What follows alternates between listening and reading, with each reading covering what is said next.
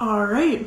So, in this episode, today we're going to talk about why your content isn't converting into clients. So, if you are struggling to get clients and you're posting content consistently, but nothing seems to be converting, we're going to talk about how to create content that speaks directly to your audience today. All right, so let's dive on in. And as always, if you guys have any questions, throw them in the comments below. So if you're posting consistently, um, but it's not converting into clients, then that means that there is a major gap in your messaging. So it's time to tweak your content strategy. So we're to start with a few small tweaks, and then I'm to go over five or seven big tips that I have for um, just figuring out how to how to actually analyze what's working and what's not working. So, the biggest thing you want to understand is how do you help people? All of your content stems from understanding this very, very clearly. What are you doing? What do you do? And I've talked about this in past podcast episodes, I've talked about this in past lives. So, if you're struggling to figure out what exactly you do, make sure to go back and listen or watch those episodes. But you need to be very clear and not clever. I think a lot of people get in this space, um, they start marketing, they start posting on social media, and they're like, I'm gonna stand out from the crowd by being clever. No, you don't wanna do that. Obviously, there is a little bit of cleverness that goes into it, but you really wanna be clear. And the best way to understand if your messaging is clear is to put it through the boyfriend slash husband test. So, this test is something that I do with my clients and essentially, it's asking yourself if you had to have your boyfriend or your husband explain what you do, what would they say? What would they say? And I think this is a very good test for a lot of us because, as women especially, we tend to overcomplicate the hell out of things. So, ask yourself what would my husband or my boyfriend say about my business? What what would they say that I do? And you don't want to make it any more complicated than that because that is kind of like your your baseline with um, your messaging, I guess. And going along with that, you want to stop with using advanced vocabulary. So, I get it. I know that you're a very smart human being and individual and that you have a lot of expertise and insight, but marketing 101 is to use language that a third grader can understand. You don't want to be using like SAT vocabulary or, you know, PhD vocab for your marketing purposes. Don't try and impress, you know, colleagues or other people in your industry um, by using like super intense words that only a handful of people are going to understand. The person who you help needs to get what you can do in as simple language as possible. So speak as if you're speaking to a third grader, which I know for a lot of us that can be really challenging, especially when you first get started in the space and you're like, oh, I want to come off as a professional. I want to come off as someone who like knows my stuff. But I'm telling you right now, once you start using advanced vocab, people are going to start scrolling fast. They're not going to understand what you're talking about. And the best way to really hone in on your message is to simplify the living crap out of what you're saying. Um, there's a bunch of different processors like online like websites that you can go on and it will literally you can copy and paste like a paragraph or a few sentences of what you're about to write and you can put it into that processor and it'll like run through it and it'll tell you like what language level you're speaking at. And you'll be surprised. I wrote a paragraph or i think it was a blog post actually talking about content creation systems and i put it through the processor and it came out as like 12th grade or like 11th it was like high high school language and i'm like oh okay i really need to like simplify some things here. And what's really cool is a lot of these like online processors they'll like tell you how to fix the language. So like they'll t- they'll highlight certain parts and be like hey this is what you need to fix like go in and tweak this.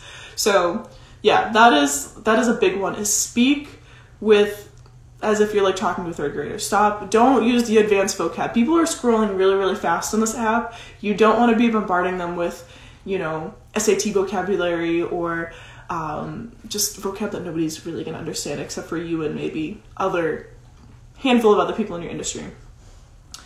So, the next thing I really want to cover is what is the so that of what you try and do. So, people are hiring you to get a result. You know, they they're giving you their money to get a specific result. Um, so every time you make a hook for your content, um, you create a heading for your blog post, I want you to ask yourself, is this cap is this only capturing the homework or am I speaking directly to the desired result? You want to be speaking to the result of what people are going to get from reading through your content. So, a good example of this, I have one on my laptop right here. I'm just going to pull it up. So, a good example is here's three tips to drink more water. That is very, very simple. There is no like result from that. It's just like, hey, here's more tips to drink water. Instead, a great way to change this would be here's why not drinking enough water is sabotaging sabotaging your weight loss goal and what you can do about it. So it's a little, it's more in depth. It, it shows you clearly that here's why doing X, Y, and Z is preventing you from getting to, you know, your desired result. So you're linking the drinking water to the result, which is the weight loss. And that's what you really want to be focusing in on your hooks and on your, your content is having that beginning phrase, which is the here's why you're not here's why not drinking enough water, so the what you're doing wrong is not giving you a specific desired result. And that's what you want to be emulating in all of your content as well. So that's a perfect example of that. And I have a list of a bunch of different hooks. I literally just posted a reel about this as well. So if you want to see 10 of them, you can see 10 of them on that reel. But having a great hook is really gonna make the absolute difference in your business. I'm, I'm telling you from this personal experience and from working with like hundreds of clients, having a great hook in your social media content, whether that's on a carousel post or in a short form video or in a blog post or in a YouTube video, whatever it might be, having a very clear hook stating, here's what you're struggling with, you know, and here's how you get the desired result. Like in a simple, simple sentence is gonna really grab a lot of people's attention. All right, next thing I wanna talk about is images. So our brain processes in images. I know a lot of people think differently, like, you know, some people think in like words, some people think in like pictures and stuff like that, but our brain processes everything in images. So when I tell you to think of, let's say a cat, think of think of a cat. All right, what really happens in your brain? You're not you think of an image of a cat, right? You think of like this little tiny orange tabby cat walking around, you know, cute little whiskers, stuff like that. You you th- you literally visualize a cat. You don't think of the letters C A T. You don't think of that. So your message needs to create a specific image in order for your reader's brain to process it. Um, here's a great example of that. Instead of saying like, "Hey, here's three tips to, you know, release or get rid of anxiety," say, "Here's how to stop tossing and turning in bed." Till 3 a.m., worried about your endless to do list and actually sleep throughout the night. I'm willing to bet you painted a very clear picture in your head of that same struggle that you've probably had. When you just use the word anxiety, there's no specific image related to that. So your brain just doesn't really care. Like you might know that you have anxiety and you might read that and be like, oh, that's interesting. But that second hook that I said, it really paints a clear, specific image so that your brain thinks, oh my god, like this person is stalking me. Like they they actually know my exact problem. Like, can I hire you? Like this is literally what I'm feeling right now. I, I need help with this. So painting a picture is really gonna get into your ideal client or customer's head because they're gonna scroll past that and say, wow, this person really understands my struggles, they really understand my problems. I want to learn more about them. And that's when the whole process of them following you and looking at your links, checking out your highlights, watching your other videos, starting to binge your content. That's when the whole snowball effect starts to take place, is because now you're in their head. Does that make sense?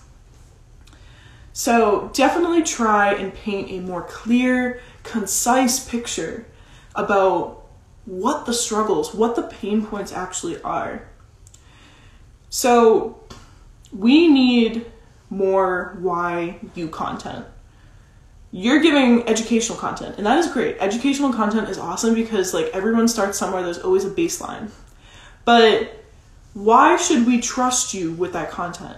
That is a big, big question you want to be asking yourself when, you know, creating your 30 days of content, whatever it is that you're doing. Like, why should people be trusting you with the content? What have you done in your life that gives you you know, expertise. You need to you need to tell them. So one of my favorite like frameworks for this is here's how I went from blank, which is a struggle, to blank, which is desired result in blank, which is a time frame. And you want to give content that shows how you embody your work today in the present and how you did X, Y, and Z to get to the desired result that you're currently you currently have. You want to be storytelling throughout your content. So I hope that helped. Um, that is kind of like the main things that I really want to cover in this episode here is you really need to be painting a picture. You really need to be grabbing people's attention with those hooks. And like I said, the ones that I provide are great for baseline ones. They're great to set up the framework, but you really need to elaborate more on the hooks. You can't just say like, here's three tips to reduce anxiety. Like you need to have like, you know, the feelings, the emotions, um, paint the picture inside someone's head. So you can take the hooks that I provide you, but you need to build off of them and run with it. And I think that's where so many um, business owners get stuck is they see all of these free resources online and they're like, oh, this is how I should be creating content. I'm just going to copy and paste. You can't copy and paste. You cannot copy and paste. You need to add your own story, your own uh, personal twist on it. You need to relate it to your audience. Otherwise, people aren't going to buy from you because you're not going to stand out. All right, so now that we covered how to actually do that, I want to uh, go over a few things that you can do to help analyze what's working and what's not working. So, when you're creating content that speaks directly to your audience, there's seven things that I recommend you do in order to figure out hey, is this post resonating with my target customer? Is this post actually grabbing people onto my social media page? Are they doing website clicks? Um, are they progressing through the sales funnel that I put out? Um, so let's dive into that. Number one is to check your insights. You need to be checking your insights on every single post that you put out there. Um, a big problem I see a lot of, especially social media managers and marketers do, is they overlook the power of insights. They just look at it um, at base level and it's like, oh, this video only got, let's say, 500 views. It didn't perform well in comparison to my other videos. That's not necessarily true. You need to look at the watch time on the video. You need to look at website clicks. You need to look at um, how many times the video was saved, how many times the video was shared. Because you could have a video that, or even just a, an Instagram post that goes, you know, somewhat viral, it gets a few thousand views. But if those analytics aren't really tracking with what you are looking for in desired results. If you're looking for um, website clicks and a video that has 500 views has significantly more website clicks than a video with 15,000 views, then you might want to hone in on that style that you created for the video that had 500 views. So, really dive into your analytics and see what is actually working. Don't just look at how many people viewed your content or how many people liked your content. There's so many other levels of analytics and data that you want to be looking at so that you can progress your social media strategy. Because you might post one piece of content that's like, let's say talking about the anxiety tips, and you set it up in a specific framework. But it's not that the it's not that the content itself isn't great. It's that the way that you set it up isn't resonating with your your target customer. So you want to be taking a different approach and trying new things. The the content itself, the actual educational piece that's inside of it is probably awesome. Like I know that you guys are great at what you do, but how you're actually grabbing their attention is probably just not there. How you're actually delivering the information is probably just not there. And that's why you need to be checking your insights to see what is working and how can I replicate this moving forward. So that is a very, very important thing that you guys need to be doing. Number two, I covered this earlier use your language, speak as if you're speaking to a third grader, okay? And use language that is going to be used in that industry. Number uh, number three, ask your audience questions. Ask your audience questions. I think this is a very over underrated tactic um, and strategy when it comes to trying to figure out what to provide for your ideal customer. Ask your audience questions, you guys. If you're on Instagram, put out a question box. Ask questions. It's as simple as that um, you'll be surprised. A lot of people will answer in the language that you should be creating the content for. So that kind of ties back into point two, what I said. Number four is to use call to actions. So I have a few resources on call to actions if you guys are struggling with this. Um, I think I'm actually making a post on it over the next few days. Anyway, use call to actions in your post. Um, I'll list off a few right now. DM me blank. DM me a word. DM me content for link. DM me the word hook for access to my 100 hooks. Tap the link in my bio for more information on. Want to learn more about blank? DM me the word blank. Like those are just three awesome ones that you can use all the time. You want to be using call to actions though because people aren't going to know what to do if people don't know you have an offer or if you have something that you want to share further with them, they're not going to know about it unless you tell them. So you got to tell them specifically what to do. Number five is stalk your followers. Okay, this is where a little bit of like high school dating kind of comes in. You want to be stalking your followers, you guys. You want to be stalking the people that come across your page. And I know this sounds like weird when I say it out loud, but it's very true. You want to be seeing who's actually following you. Are people that are following you actually people? Are they bots? Are they fake accounts of people impersonating other people? Are they from a completely different industry and niche that you never would have expected? Um, are they also educators? Are they average everyday mom and dads? You want to be figuring out who is actually following you. So when someone like hits that follow button and you get that notification pop up, look and see who they are because they might be someone that you actually end up building a genuine connection with in you know a few hours a few weeks a few months or even a few years down the road. So look at who's actually following you. Number six is to experiment. This is another area where i see a lot of business owners starting to slack i guess is they put out a piece of content and if it doesn't perform the way they want it to perform they give up with it and go on to another topic. No, don't do that. You want to be experimenting with multiple other ways on how to deliver that piece of content. If it didn't resonate in an Instagram carousel, try turning it into a short form video. If a hook that you used for the video was didn't really work, try another hook because the content after that 5 second period could be amazing and could provide some awesome value, but you just didn't grab them in those first five seconds. So try out different ways of presenting your content. Try out different. Um, I always say, if you have one piece of content, try 10 other ways to present that piece of content because you'll be really surprised on what performs and what doesn't perform. Um, a great example of this is the whole repurposing strategy. So I made an Instagram story about this the other day, but I made a post on TikTok.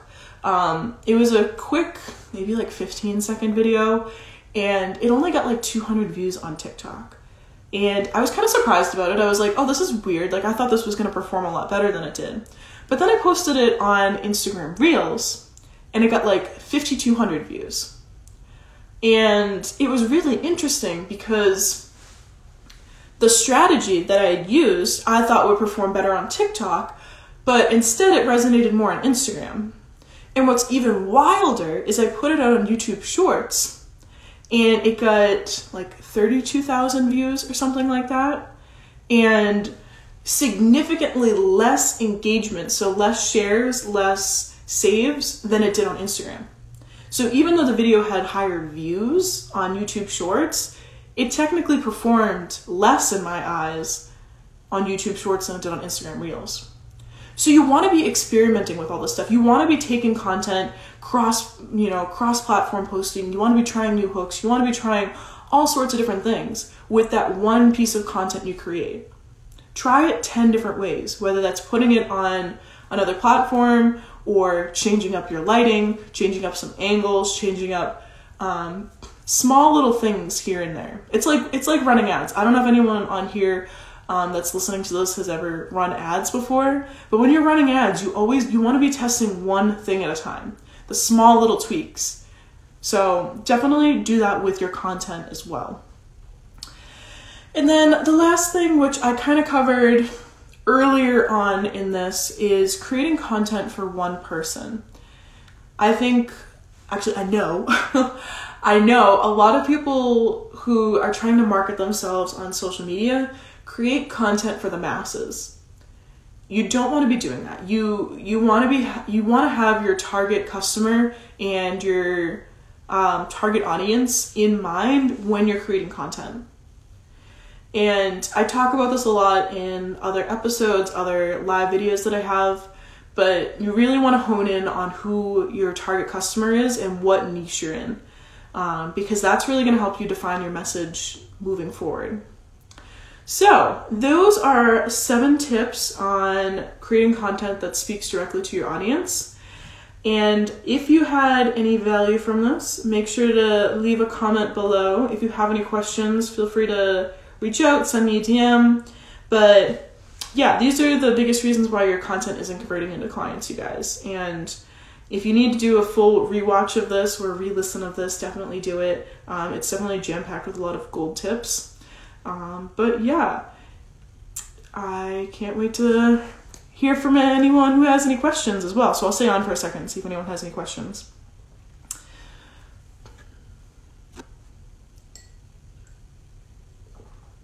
But if nobody has any questions, then I look forward to speaking with you later. Also, before before I log off, before I forget, I am opening up two one-on-one private uh, coaching sessions in May. Everything's already filled up for March and April. But if you want to dive into like literally everything that we just talked about, um, you know, posting content consistently, speaking to your ideal client, getting all those gaps kind of tweaked, um, I think the I'll leave a, a, link to the application in the podcast episode as well as in the comments here. So definitely fill that out if you are interested. But yeah, it was great talking with you guys today, and I look forward to any questions that you